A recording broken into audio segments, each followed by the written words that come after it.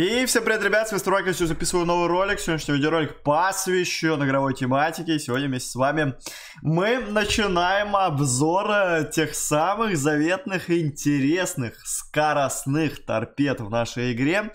Давно у нас не было игровых видеороликов, где есть э, нестандартные комбинации, есть комбинации, которые я уже давным-давно не использовал.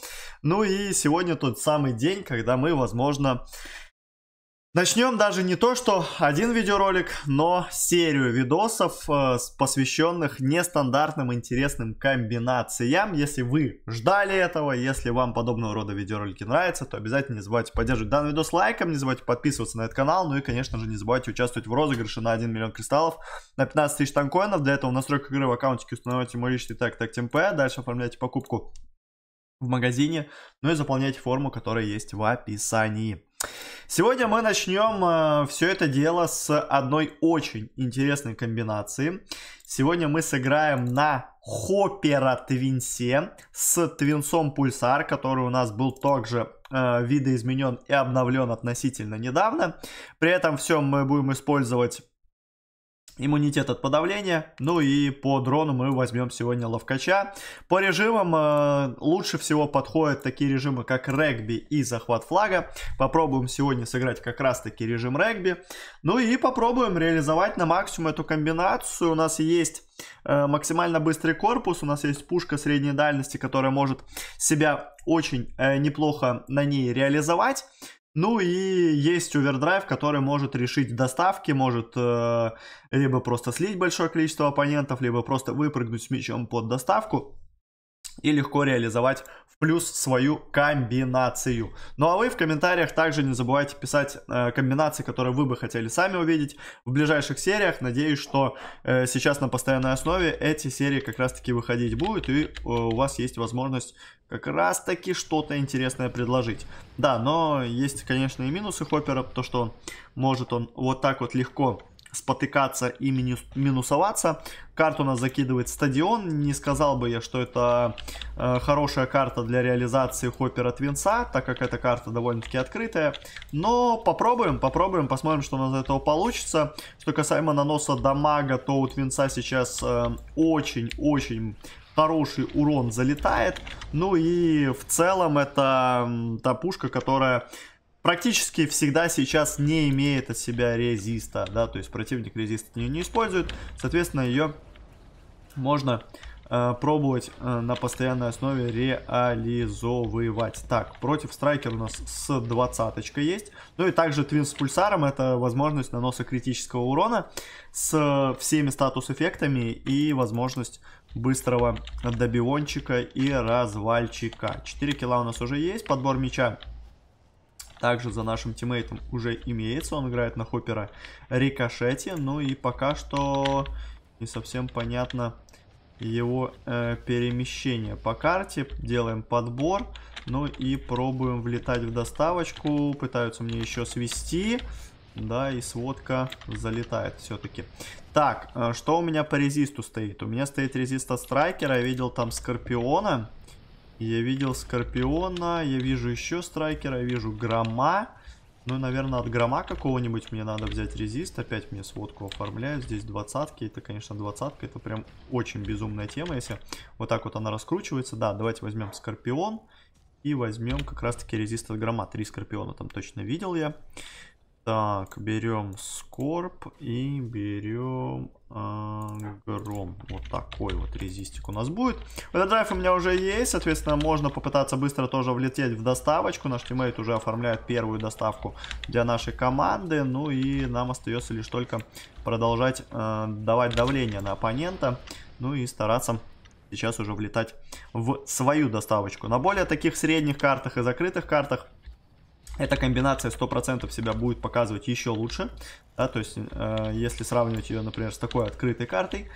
Но даже здесь я уверен, что эту комбинацию можно реализовать. Да, то есть ваша задача просто э, играть где-то, может быть, чуть-чуть пассивней, где-то раскручивать оппонента, ну и накидывать как можно больше урона, если учитывать тот факт, что каждый ваш крит сажает противника на одно место и постоянно может наносить 4 статус эффекта, это, конечно, работает максимально-максимально жестко. Ну и, соответственно, ваша задача также использовать э, дрон, который вам дает возможность прожатия полной расходки. То есть, например, тот же кризис в этом плане не подойдет. Так, бомбочка залетает от противника, и при этом наши тиммейты все равно успевают сделать еще одну доставку. 3-0 мы уже вместе с вами здесь ведем. Ну, я, по сути, пока что еще ни одного даже овердрайва не реализовал. Особо сильно в этом необходимости не было. Но сейчас под подборчик сыграем. И если вдруг в этом необходимость будет, то мы, в принципе, можем как раз таки этот овердрайв и прожать. Шикарно на три танка прожимаем и в полетике еще и доставочку четвертого мяча оформляем. 11 киллов у меня, 300 очков есть. Понятное дело, что здесь УПшка может быть не такая крутая и не будет у вас там какого-то супер большого набора очков. Но в целом ваша задача немножечко другая, поэтому ничего страшного в этом нету, даже если у вас КД там условно минусовая. Так, сводка мне в голову залетает. Ну и попробовать бы сейчас бы сыграть под это все дело.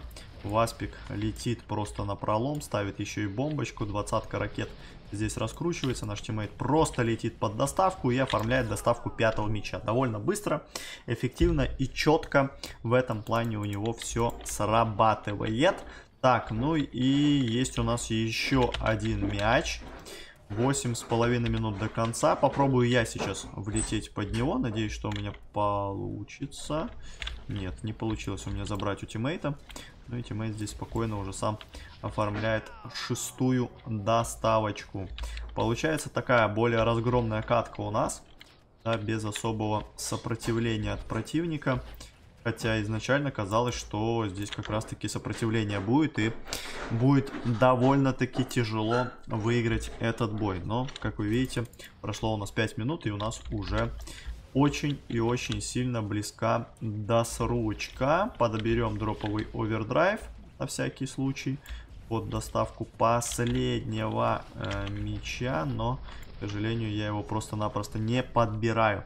Успевает Хоппер вражеский быстрее это сделать, но его быстро тоже сливают, и наш тиммейт доставляет седьмой мяч. По сути, мы можем, наверное, сыграть еще одну катку, потому что эта катка завершилась у нас довольно-таки быстро. Видеоролик идет всего лишь 7 минут, поэтому давайте попробуем катать еще одну такую же каточку с досрочкой. Реализовать на максимум комбинацию, заодно можно посмотреть, Какие у нас здесь резисты? Ой, резисты заданки, но не успел я немножечко на заданочки щелкнуть. Так, и меня сразу же закидывают. В последнее время начал больше акцентировать внимание на режиме регби. И в целом, наверное, это тот самый режим, который, эм, ну, является одним из таких самых командных и интересных в моем понимании.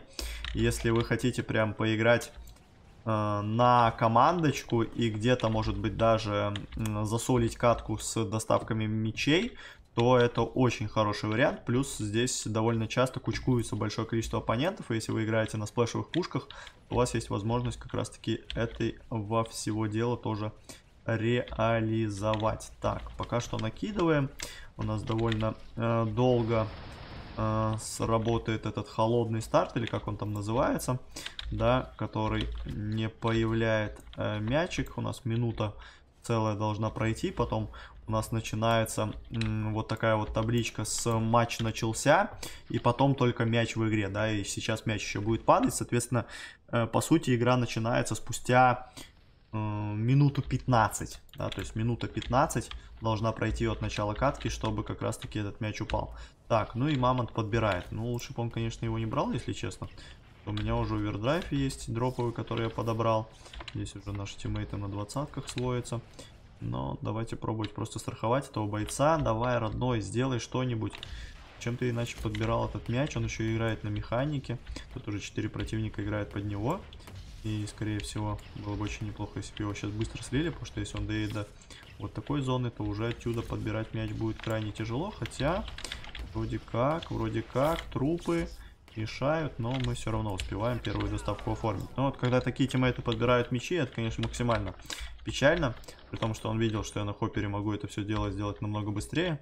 При этом он там еще пока потолкался, пока там потерял дополнительное драгоценное время. Это, конечно, было не очень-не очень круто. Так, ну и здесь вообще можно оформить было бы доставочку с помощью прыжка, но я вижу, что противник особо сильно не дефает все это дело, поэтому мы можем просто влететь, доставить и спокойно перевести все это дело на 2-0, оставить этот овердрайв на Э, доставку следующего мяча. Конечно, можно было бы эту быструю оверку всю реализовывать и стараться, например, из, из каждой оверки давать дополнительные килы, но с точки зрения именно командного взаимодействия и э, того учета, что я все-таки хочу выиграть эту катку быстрее, то мне особо не интересно прожимать этот овердрайв на то, чтобы просто слить оппонента, да, без доставки. Если под это все будет э, лететь доставка, то окей, да, но если доставка у нас не будет лететь под это все дело, то какой мне смысл от того, что я просто солью там один-два танка оппонента. Так, вот сейчас то, что меня быстро сливают, это, конечно, очень плохо, потому что в моменте казалось бы, что я уже должен делать еще одну доставочку. Э, к слову, можно вообще попробовать поменять даже здесь резисты, потому что я так смотрю, что здесь довольно другие пушки у нас использует оппонент.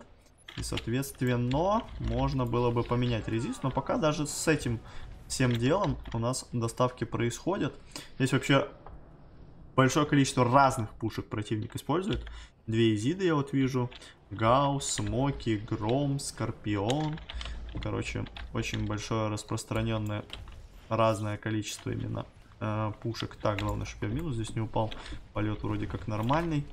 Так, ну и еще одна проблема Твинса это то, что вы можете наносить урон сами по себе. То есть, соответственно, вам нужно стараться не сближаться с оппонентом, стараться держать дистанцию, э, чтобы вы по себе сплэш урон не наносили, но либо же нужно тогда уже использовать резист от самого себя, но на сегодняшний день использовать резист от самого себя, я бы не сказал, что это супер такая э, доступная вещь, которая потом не будет чувствоваться. Так, ну и четвертую доставочку мы уже оформляем. Я вроде как, если не ошибаюсь, еще ни одного овердрайва даже не прожал. То есть хоппер, он просто мобильный максимально корпус, плюс это летающий корпус, который дает возможность хорошего дополнительного стрейфа.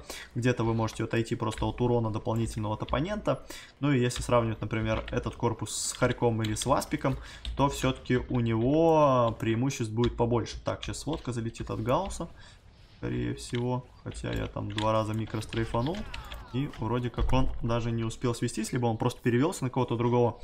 Так, ну и 5-0, шикарно просто, шикарно, если не ошибаюсь, все доставки оформил я здесь в рамках этого боя. И это не может не радовать, то, что наша комбинация работает.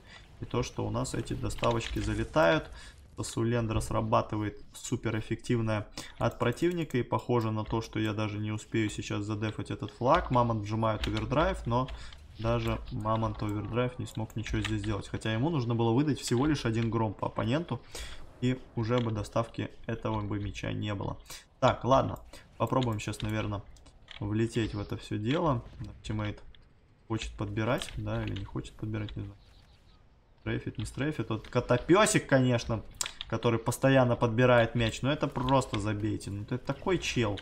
Он еще и кидает мяч. Боже, что ты делаешь? Просто что ты делаешь? Вместо того, чтобы просто дать мне возможность подбора мяча, прожатия овердрайва и доставки шестого мяча, чел подбирает и просто... И просто не дает мне возможность реализации своей комбинации. Так, Твинс э, вражеский прожимает овердрайв пытается здесь тоже раскрутиться. Ну и вот еще, а, что я могу сказать, то что Твинс именно с Хоппером, да, за счет вот этих вот дополнительных стрейфов очень-очень хорошо реализуем. Да, то есть эти дополнительные стрейфы, они работают плюс для такой пушки, когда вы можете просто перемещаться и спокойно наносить урон. Например, на том же Васпике, либо на Харьке у вас э, такую реализацию сделать будет намного-намного тяжелее. Так, ну и по сути, похоже, мне надо уже вот здесь вот прожимать овердрайв, чтобы слить трех оппонентов. И, а, хотел сказать, и доставить шестой мяч, но меня здесь сливают. Но этот овердрайв был точно нужный исходя из того, что там было довольно большое количество противников передо мной, если я бы здесь не прожимал бы овердрайв, то, скорее всего, меня бы просто здесь сливали бы, и никакой дополнительной реализации у нас бы не было. Так, попытка увозинга от оппонента, шафт меня в очередной раз сливает, и я уже задумываюсь о том, чтобы взять резист как раз-таки от этой пушки, даже если учитывать тот факт, что мы ведем 5-0. Я отлично понимаю, что меня сейчас он очень жестко контрит. Ну и можно заодно, кстати, взять резист от Твинса, от самого себя. Буду меньше себя уничтожать и будет больше возможностей как раз таки на реализацию под доставку. Так, Гром у нас есть, Твинс и Шафт возьмем. Гром Твинс Шафт. Даже учитывая тот факт, что у нас остался всего лишь один мяч, все равно лучше взять дополнительный резист и оформить как можно быстрее эту доставку, нежели вы будете, например, тратить большее количество времени для реализации этой доставки. И по итогу все будет намного-намного тяжелее. 10 на 14 мы идем. 700 очков у нас уже есть. Мяч, к слову, у нас тоже уже слева имеется. И овердрайв, кстати, сверху тоже есть. Но овердрайв мне не нужен. Ласпик подбирает вражеский. Ух, и жесткая бомбочка срабатывает от оппонента. Но у нас есть овердрайв. Есть также противник с твинсом, которого можно сейчас быстренько разобрать. И опять этот котопес. Не, ну он конкретный котопес. Но тут вообще вопросов нет. Просто вопросов нет. Конкретный котопесик, который здесь на своем мамонтограмме наваливает. Но он еще и даже вжимает овердрайв. Но я не знаю, там уже у него там возможности какие есть. Но он летит просто как машина. Махи... И зачем ты кидаешь мяч? Ну, боже мой. Ну, ничего не учит этого бойца. Зачем он кидает мячи, я не могу понять. Но доставку последнего мяча мы оформляем. И вот так вот шикарно заканчиваем бой. Как я уже сказал, здесь УПшка может быть не положительная, но зато ваша эффективность будет максимально жесткая. Соответственно, Opera Twins дает 840 очков с еще одной досрочкой.